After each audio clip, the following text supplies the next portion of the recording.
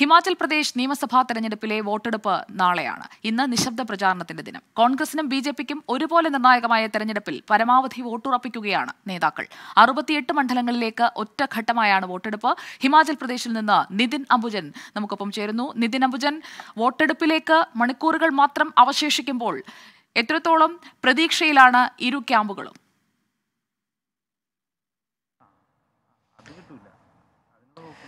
സുജയ ഇന്നിപ്പോൾ നിശബ്ദ പ്രചരണത്തിന്റെ മണിക്കൂറുകളാണ്. പരമാവധി വോട്ട് ഉറപ്പിക്കുക തന്നെയാണ് ലക്ഷ്യം വെക്കുന്നത്. പ്രത്യേകിച്ചും ബി ജെ പി സംബന്ധിച്ചാണെങ്കിൽ ഒരു ഭരണ തുടർച്ച ആഗ്രഹിക്കുമ്പോൾ പുറത്തുവന്ന സർവേ ഫലം കോൺഗ്രസിനടക്കം വലിയ പ്രവചനാതീതമാണ്. അതുകൊണ്ട് തന്നെ കോൺഗ്രസും ശക്തമായ സാന്നിധ്യമായി സംസ്ഥാനത്തുണ്ട്.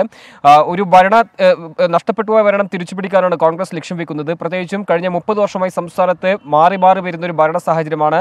ഇത്തവണ തങ്ങൾക്ക് അനുകൂലമാകുമെന്ന പ്രതീക്ഷയിൽ കോൺഗ്രസ് ഉള്ളപ്പോൾ പഴയ പെൻഷൻ പദ്ധതി അതോടൊപ്പം തന്നെ കർഷകരുടെ പ്രശ്നം അടക്കമുള്ള സംസ്ഥാനത്തുണ്ടായ ഭരണവിരുദ്ധ വികാരം വോട്ടാക്കാൻ കഴിയുമെന്ന ഒരു പ്രതീക്ഷയിലാണ് കോൺഗ്രസ് ഉള്ളത്.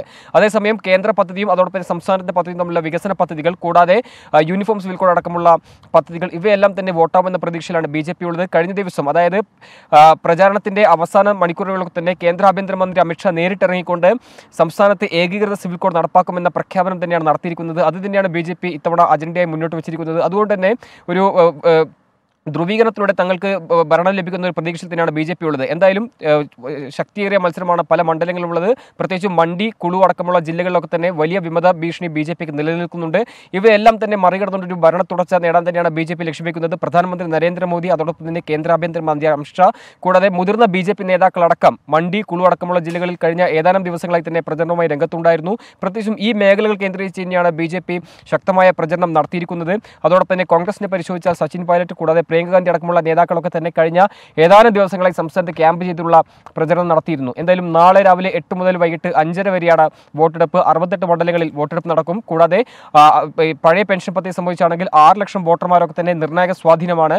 ആ ഒരു സാഹചര്യത്തിൽ ഏറെ പ്രധാനപ്പെട്ട രാഷ്ട്രീയ തെരഞ്ഞെടുപ്പ് എന്ന് തന്നെ പറയാം. അതേസമയം മറ്റൊരു വശം പരിശോധിച്ചാൽ ആം ആദ്മി പാർട്ടിക്ക് വലിയ കാര്യമായ സ്വാധീനം സംസ്ഥാനത്ത് ചെലുത്താൻ സാധിച്ചില്ലെന്ന് തന്നെ മനസ്സിലാക്കുന്നു. ഷിംല അടക്കമുള്ള പല മേഖലകളിൽ സഞ്ചരിച്ചപ്പോൾ അതായിരുന്നു വോട്ടർമാരുടെ പ്രതികരണം ഉണ്ടായത് എന്തായാലും ബി ജെ പി കോൺഗ്രസ് തമ്മിലാണ് സംസ്ഥാനത്ത് ശക്തിയേറിയ മത്സരം നടക്കുന്നത്. നാളെ രാവിലെ എട്ട് മണി മുതലാണ് വോട്ടെടുപ്പ്. ഇന്നിപ്പോൾ പരമാവധി വോട്ട് ഉറപ്പിക്കാനുള്ള തിരക്കിട്ട നീക്കത്തിലാണ് മുന്നണികളെല്ലാം ഉള്ളത്. സുജയ. ഓക്കെ നിതിൻ അംബുജനാണ് ഹിമാചൽ പ്രദേശിൽ നിന്ന് തത്സമയം വിവരങ്ങൾ നൽകുന്നത്. നാളെ വോട്ടെടുപ്പിലേക്ക് നീങ്ങുകയാണ് ഹിമാചൽ പ്രദേശ്.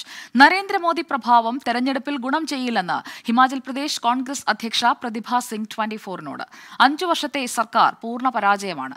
ഏക സിവിൽ കോഡ് അടക്കം ബി ജെ പി നൽകിയതെല്ലാം പൊള്ളയായ വാഗ്ദാനങ്ങളാണെന്നും പ്രതിഭ സിംഗ് ട്വന്റി ഫോറിനോട് പറഞ്ഞു. See, BJP got the chance. They formed the government last time. Five years they were in power. They've been claiming that it was a double engine government. And uh, with that also, they couldn't mm, do much of an impact in Himachal Pradesh.